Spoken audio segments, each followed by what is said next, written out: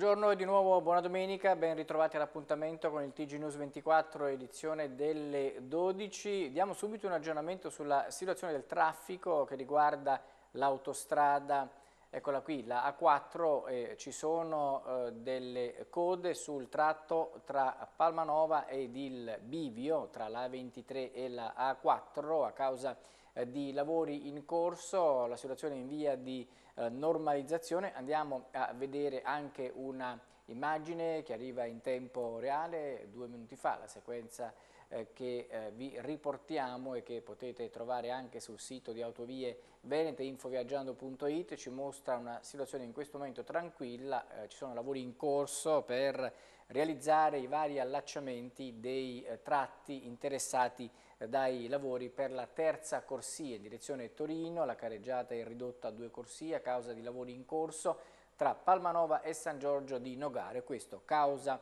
di tanto in tanto delle problematiche di traffico che però fortunatamente poi si risolvono in tempi brevi. E dunque questo ragionamento arriva da Autovie Venete, ne troviamo un altro di traffico eh, su, sull'altra parte della A4 verso San Giorgio di Nogaro con code in questo caso in uscita a San Giorgio di Nogaro perché le code in uscita? Perché oggi proprio a causa dei lavori in corso bisogna effettuare delle deviazioni e quindi prendere strade itinerari alternativi per poi ricongiungersi eh, con la A23 oppure con la, con la A4 eh, più avanti rispetto al punto in cui eh, sono in corso i lavori e sono state effettuate le chiusure o i restringimenti di carreggiata per consentire gli allacciamenti di cui parlavamo poco fa.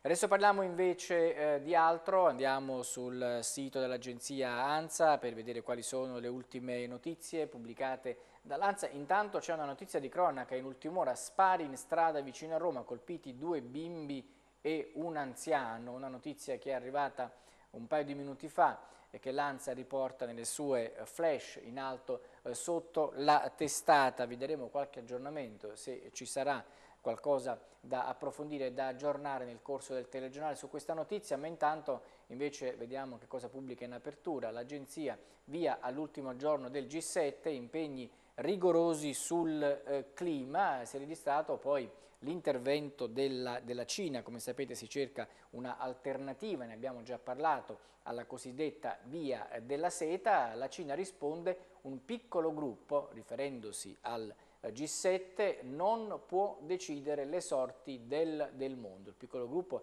è quello che compone il G7 che si è riunito in Cornovaglia ed è ancora in corso il, il, meeting, la Cina ha affermato che sono finiti i tempi quando un piccolo gruppo di paesi poteva decidere i destini del mondo, i giorni quando le decisioni globali erano dettate da un piccolo gruppo di paesi. Sono finiti da molto, è quanto ha affermato un portavoce dell'ambasciata cinese a Londra, citato sul sito della Reuters. Noi crediamo che i paesi, grandi o piccoli, forti o deboli, poveri o ricchi, siano tutti uguali e che gli affari del mondo devono essere gestiti attraverso la consultazione tra paesi, ha aggiunto il portavoce. E adesso parliamo della situazione vaccini nel nostro paese dopo la decisione eh, di eh, non vaccinare gli under 60 con AstraZeneca, che si tratti di prima dose oppure di richiamo e dunque di far ricorso ad altri vaccini anche per la seconda dose di chi ha ricevuto già AstraZeneca, nel, nel caso specifico vaccini Pfizer e Moderna, eh, potrebbe mettere in crisi il piano vaccinale. Il governo rassicura perché non ci saranno rallentamenti nella campagna dopo lo stop all'uso di AstraZeneca. Lo rivelano fonti di Palazzo Chigi che fanno sapere che sono in arrivo 55 milioni di dosi di Pfizer e Moderna che serviranno fra l'altro quale seconda dose per gli under 60 che hanno avuto una prima dose del vaccino anglo-svedese, circa 900.000 persone. Intanto le regioni cancellano gli Open Day che andranno riorganizzati rispettando le indicazioni per fasce di età.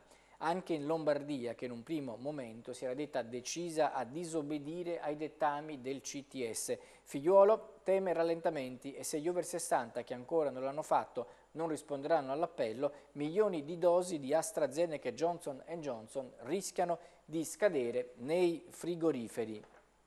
E con Valentina Bearzi facciamo il punto della situazione per quanto riguarda la nostra regione. Cosa succederà ai nostri corregionali che hanno già ricevuto la prima dose con AstraZeneca e attendono di ricevere la seconda, a questo punto con un altro vaccino. Sentiamo.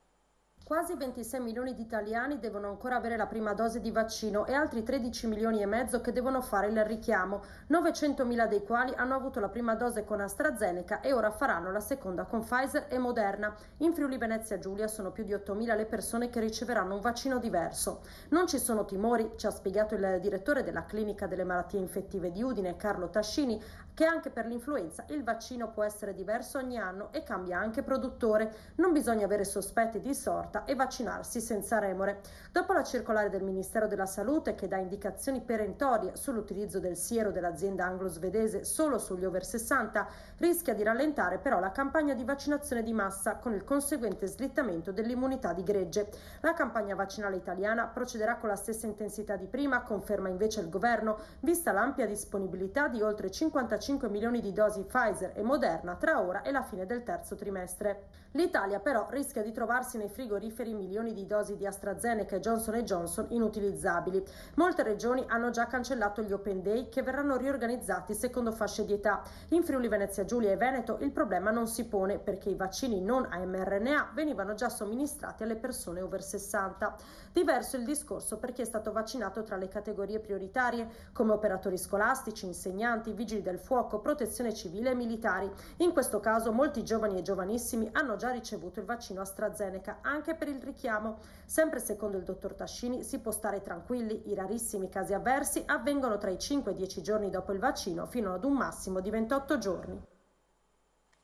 Prima di eh, tornare a parlare di vaccini, ma questa volta nella pagina del turismo, con una serie di eh, servizi e notizie che riguarderanno l'organizzazione turistica delle nostre località, soprattutto località balneari, ma anche quello che si può e non si può fare quando ci si sposta, quello che si deve fare quando ci si sposta dall'Italia verso l'estero, in particolare le nazioni confinanti, Slovenia e Austria. Adesso eh, cambiamo argomento e parliamo del caso Eriksen eh, che ieri ha sconvolto il mondo del calcio. Eh, fortunatamente il calciatore della Danimarca adesso pur essendo ancora ricoverato in ospedale è sotto controllo ma le sue condizioni sono stabili e non è in pericolo di vita. Si è accasciato ieri sul campo al 43 minuto a causa di un arresto cardiaco. Abbiamo contattato il professor Fiorenzo Gaeta, cardiologo di Torino, docente dell'Università eh, di eh, Torino presso l'ospedale eh, delle Molinette del capoluogo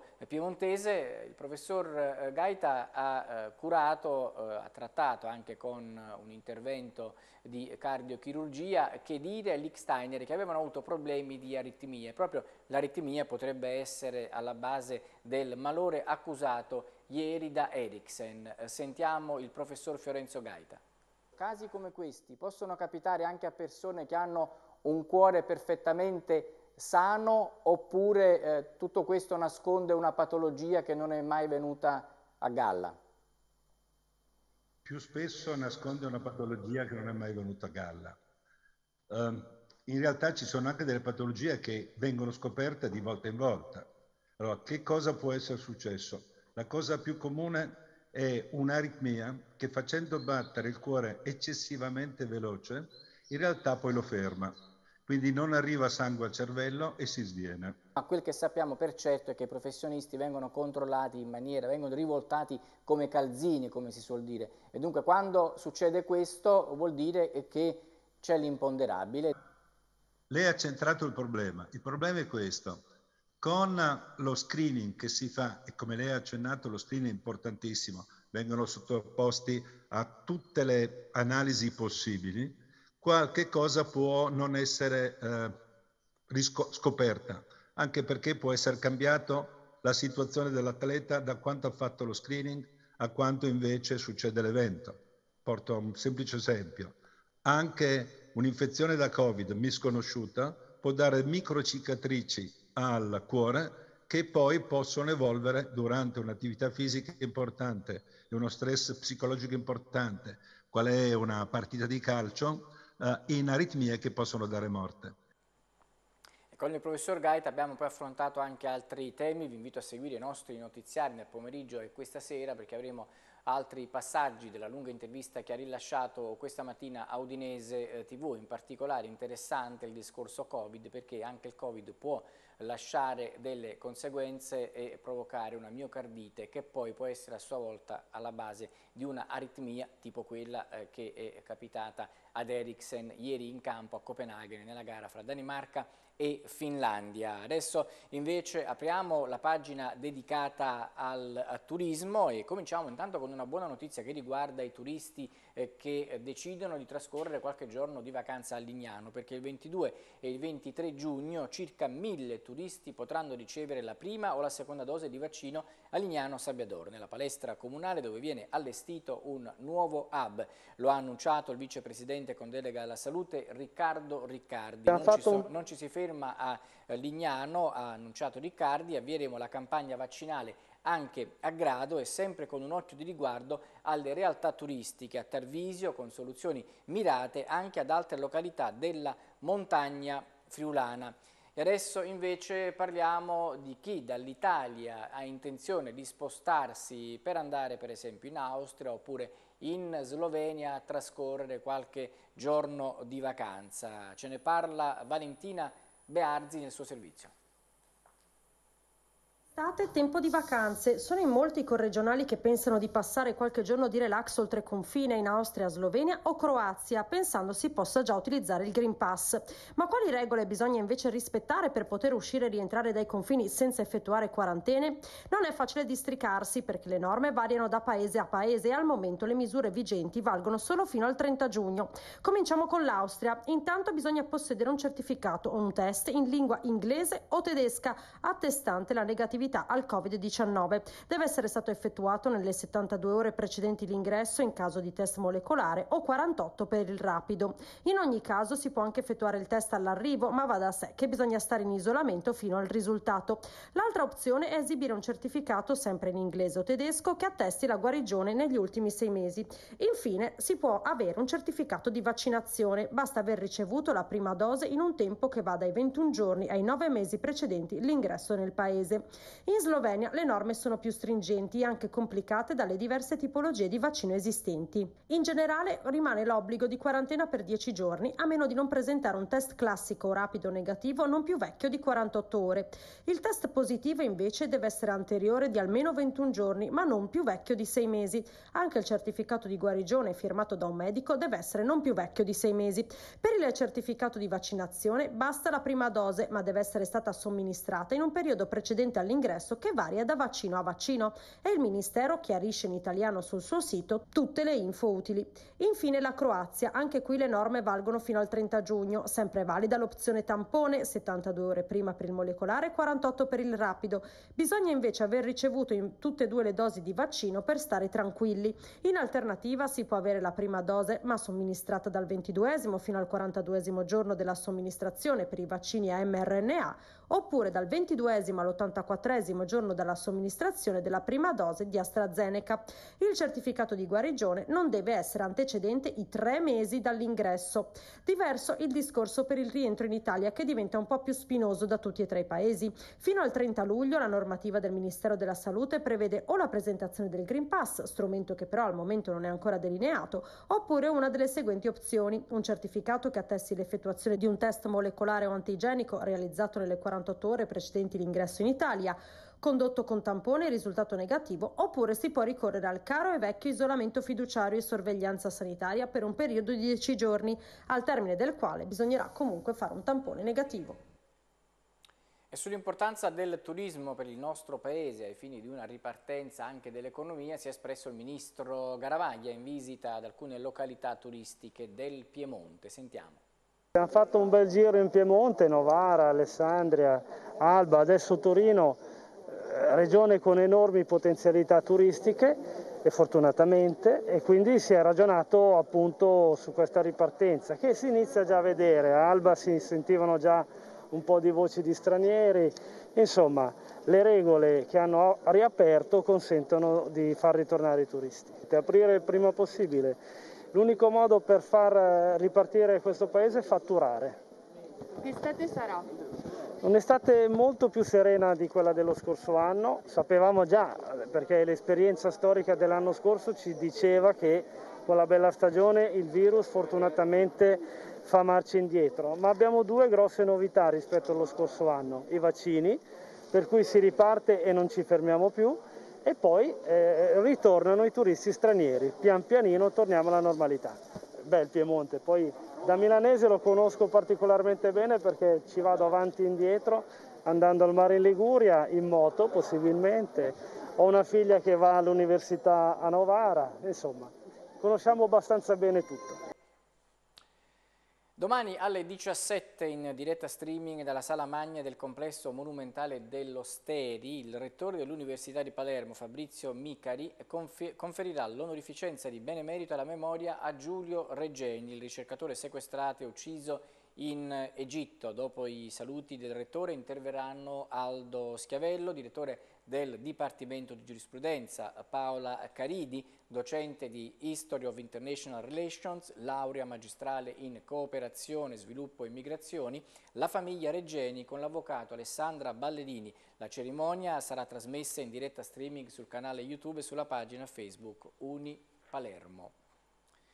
E adesso apriamo la pagina sportiva, lo facciamo con eh, gli europei, andiamo a vedere eh, le grafiche con risultati, eh, classifiche e partite di quest'oggi dei gironi interessati. venerdì 11 si è aperta la rassegna europea con la partita dell'Italia. Ieri, eh, sempre per il gruppo dell'Italia, sono scese in campo Galles e Svizzera, dopo Italia e Turchia ed è finita 1-1. Per il gruppo B la Finlandia ha battuto la Danimarca per 1-0, mentre il Belgio ha superato la Russia 3-0. La situazione di questi due gironi vede per quanto riguarda il gruppo A l'Italia in testa da sola con 3 punti, Galles e Svizzera 1 a testa, la Turchia ferma a 0. Nel gruppo B a 3 punti ci sono le due squadre che ieri hanno vinto, la Finlandia e il Belgio, ferme a 0 ovviamente quelle che hanno perso. Le partite di oggi si comincia alle 15 con il gruppo D, gara tra Inghilterra e Croazia a Londra, alle 18 si va a Bucarest per Austria-Macedonia per il gruppo C e eh, ancora per il gruppo C Olanda-Ucraina alle 21 in Olanda ad Amsterdam. Questa è la situazione europea. Alle 14.45 vi invito a seguire il programma condotto e curato da Eleonora Nocent che fa il punto quotidianamente Eurofocus. Ogni giorno alle 14.45 il punto sui campionati europei 2020, anche se siamo 2021, il nome è rimasto quello della data originaria 2020. Furono rinviati l'anno scorso a causa dell'emergenza Covid. Adesso parliamo di basket, l'Apo Old Wild West, quest'oggi affronta gara 4 della semifinale eh, per la promozione in Serie A1. Si affronta Scafati ancora in trasferta e dunque dopo aver fallito il primo match point eh, c'è ancora una possibilità di chiudere la serie qui e pensare poi alla finale. Nuova chance a disposizione per l'Apu Udine per guadagnarsi la finale promozione in Serie A che vede già qualificata la Gevi Napoli. Questa sera a Scafati si gioca gara 4 con i bianconeri ancora in vantaggio nella serie nonostante la pesante sconfitta di venerdì in gara 3. Un match che ha presentato risvolti completamente diversi rispetto ai primi due giocati al Carnera. Se in Friuli la squadra di Boniciolli era riuscita a strappare due vittorie con grande combattività e con la forza del collettivo, sul parquet di Campani l'inerzia si è invertita, con Scafati brava a mettere il risultato in cassaforte già all'inizio della ripresa, costringendo Udine a sparare a salve da tre e a faticare moltissimo nella lotta sotto i tabelloni. I playoff hanno però il potere di resettare tutto da una partita all'altra e allora oggi potrà, dovrà essere un'altra storia. Importante sarà trovare punti e concretezza da Johnson e Giuri, quasi assenti nel confronto dell'altro ieri, e replicare quella difesa aggressiva che in gara 1 e gara 2 aveva permesso di arginare il duo stelle strisce Gaines Thomas. L'avversaria di quelle che non fa sconti e poggia la sua forza oltre che sui due americani anche su un solido gruppo di italiani, ma l'Old Wild West ci tiene come a tornare a casa senza dover giocare la bella decisiva. Speriamo davvero si possa chiudere qui la serie con il successo alle eh, 18, la palla a 2 eh, tra Scafati e Apu Old Wild West. Ma adesso parliamo di calcio e parliamo di Udinese, ormai eh, Gotti, dopo aver firmato il contratto che lo lega all'Udinese anche per la prossima stagione, pensa come costruire eh, la squadra in base a quelli che saranno naturalmente i calciatori che gli verranno messi a disposizione il servizio.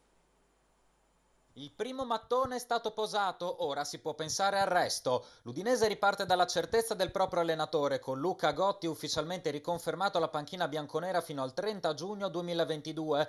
La firma è venuta nel tardo pomeriggio di venerdì, al termine di due settimane e mezzo di riflessione in cui la società ha valutato attentamente il percorso intrapreso in due stagioni da parte del tecnico veneto, per poi decidere di riporre ancora in lui la propria fiducia. Alla fine è prevalsa la linea della continuità nella programmazione, con Gotti che si avvia verso la terza stagione consecutiva in Friuli. Non accadeva da sei anni che un allenatore rimanesse alla guida dell'Udinese per un campionato intero e bisogna risalire ancora più indietro, ovvero ai tempi di Guidolin, per rilevare una permanenza ancora più lunga. Va da sé dunque che Gotti possa portarsi in dote una profonda conoscenza dell'ambiente bianconero, dove potrà oltretutto avvalersi di un nucleo di collaboratori altrettanto conosciuto e consolidato. Non ci saranno infatti stravolgimenti all'interno dello staff tecnico, che manterrà intatta la sua ossatura al netto di alcune modifiche e integrazioni. Ecco allora i presupposti da cui può partire la pianificazione della stagione che verrà. Messo nero su bianco il nome del tecnico, il prossimo passo sarà quello della rosa dei giocatori. Anche il campionato appena concluso non fa eccezione sul fatto che diversi top club italiani ed esteri guardino in casa udinese per mettere gli occhi sugli elementi di maggior pregio, alcuni dei quali potranno partire a condizione di un'offerta congrua e irrinunciabile. Giugno però è e resta il mese delle voci e per i giocatori non impegnati in nazionale nazionale restano altre tre settimane circa per ricaricare le pile. Il primo raduno del gruppo bianconero avverrà nei primi giorni di luglio, mentre a non fermarsi saranno i continui contatti tra la dirigenza e riconfermato mister. Parliamo adesso invece di giovani bianconeri. Eh, il difensore Niccolò Del Fabbro della Primavera è stato premiato da Vortice come Uomo spogliatoio dell'anno, dopo la votazione dei suoi stessi compagni. L'esterno bianconero ha parlato anche della stagione appena conclusa, dove la squadra di mister Moras, dopo un girone di andata difficile, ha cambiato marcia nel ritorno. Poi eh, purtroppo i playoff sono stati accorciati per le problematiche Covid, dunque non è stato possibile per l'Udinese partecipare agli spareggi per tentare la scalata al campionato di Primavera 1, ma ci potrà senz'altro riprovare con la prossima stagione. Ma intanto sentiamo Del Fabbro. Nicolò Del Fabbro, difensore della Primavera 2, hai ricevuto questo premio organizzato, istituito da Vortice di uomo spogliatoio, sei stato eletto direttamente dai tuoi compagni di squadra, una bella soddisfazione no? questo riconoscimento al termine di questa stagione. Sono contento di essere stato scelto per questo premio dalla squadra, eh, fa sempre piacere, è sempre un premio e e niente, ci siamo divertiti ed è importantissimo avere il sorriso dentro lo spogliatoio e dopo cercare di portare stesso, lo stesso entusiasmo anche all'interno del campo. Approfittiamo allora per tracciare un bilancio di questa stagione, iniziata con un girone di andata non del tutto esaltante, conclusa invece con un ottimo girone di ritorno. Sì, io sono dell'idea che nella vita come nel calcio è meglio forse iniziare un po' in maniera negativa e finire in positivo. Quindi noi abbiamo iniziato una stagione non benissimo, però verso fine, nel fine stagione, nel, nel genere di ritorno, ci siamo confermati e abbiamo fatto vedere quello che, che valiamo. E questa è una cosa che ci fa onore, ha fatto vedere il carattere, quello che abbiamo dentro e soprattutto ha dato un messaggio importante alla società, il prossimo anno si può fare benissimo. Bisogna assolutamente puntare a vincere il campionato e tornare in Primavera 1 perché secondo me è quello il posto dove, dove dobbiamo stare. E allora eh, complimenti a Del Fabbro e speriamo davvero che il prossimo anno l'Udinese possa lottare per tornare nel massimo campionato della Primavera, cioè il Primavera 1. Vediamo i programmi di oggi, eh, vediamo cosa propone oggi la nostra rete alle 14.45, Eurofocus 2020 con Eleonora Nocent in eh, conduzione, oggi l'ospite in collegamento sarà Fulvio Collovati, alle 16 di nuovo il TG in diretta, alle 17 il film We Are No Angels, alle 19 ancora il telegiornale e poi alle 20.30 i grandi concerti l'Udinese TV, Elton John al Madison Square Garden e poi ancora il TG serale in replica, eccola qui la locandina del concerto della rockstar inglese Sir Elton John, concerto al Madison Square Garden. Adesso vi lascio alle previsioni del tempo con 3B Meteo, vi ringrazio per averci seguito, buon proseguimento di domenica con Udinese TV.